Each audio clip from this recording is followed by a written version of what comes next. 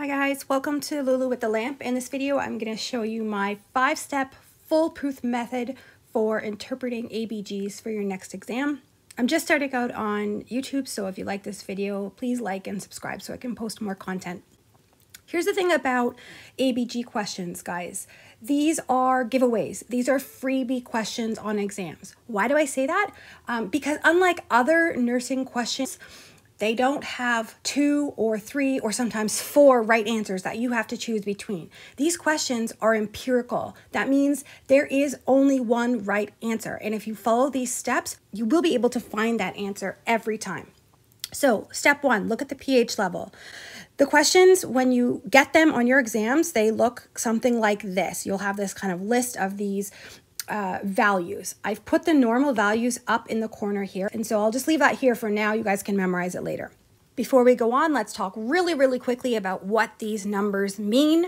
Your first number is your pH. It's giving you the acidity of your blood in general.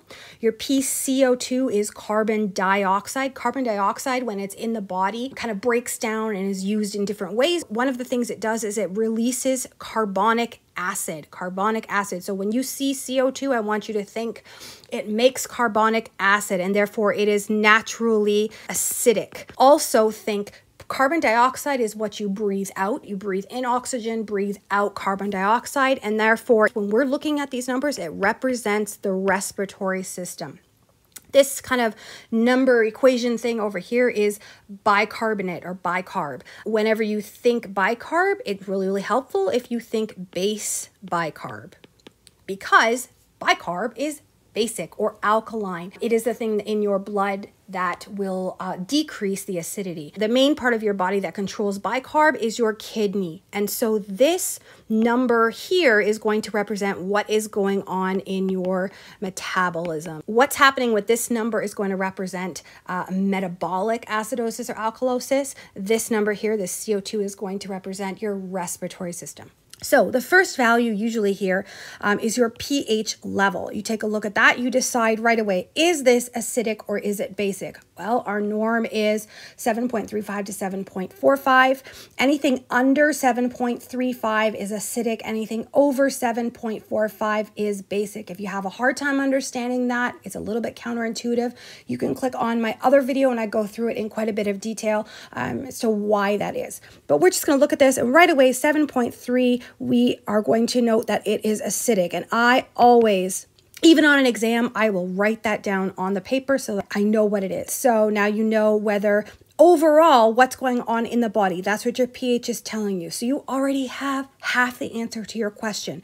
You know this is going to be acidosis. Once we calculated it out, we know the body is acidotic. Second thing, we're going to look at the PCO2 or the CO2 level. We know that CO2, it becomes carbonic acid meaning the more CO2 we have in our body or in these in the blood the more acidotic the blood is. Therefore, the higher this number is, the more acidotic.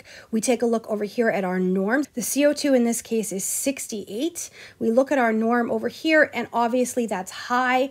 And again, anytime it is high, that means it's more acidotic. There's more CO2 to build up more carbonic acid, and therefore we have acidosis here. We write that down again, just like we did for the first one, and we move on to level three. We take a look at the bicarb. In this case, the bicarb is actually normal, and so we're just going to write down normal above that, and we're going to move on to the next level. We already know the body is in acidosis because our pH level itself is acidotic we look at the CO2 and the bicarb and we just find the one that matches. It's that simple. In this case, both the pH and the CO2 are acidic. And we know that CO2 represents the respiratory system. So right there, we know it is respiratory acidosis. Right there, you've got the big part of your answer. Of course, you will always have those profs like me who like to throw in that extra little uh, part and ask you whether or not it is compensated. It's actually not that complicated at all, and I'll cover it when we go over step five in my next video.